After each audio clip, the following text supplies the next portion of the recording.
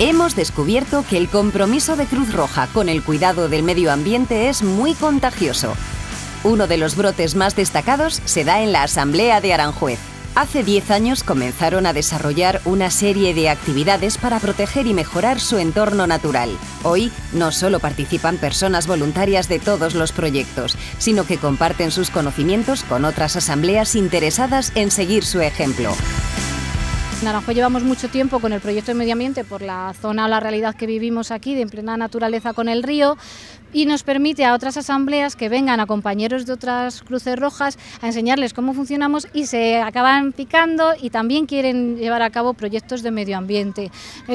tenemos que, nosotros hacemos una, compartimos experiencias, les explicamos cómo empezamos, con quién tuvimos que hablar para poder hacer todo lo que hacemos y así mostrarles y enseñarles.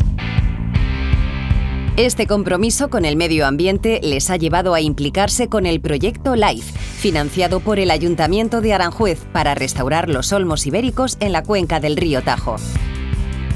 Desde el grupo de, de voluntariado de Cruz Roja Medio Ambiente de Aranjuez pues eh, colaboran un poco en lo que es la, supervisión y, mantenimiento de las plantaciones.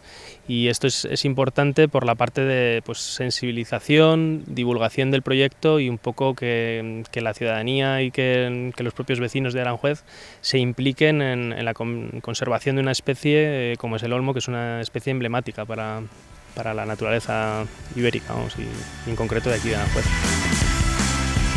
Este proyecto cuenta además con la inestimable participación de los niños y niñas afiliados, protagonistas imprescindibles para lograr que nuestro compromiso con el medio ambiente siga creciendo cada vez con más fuerza.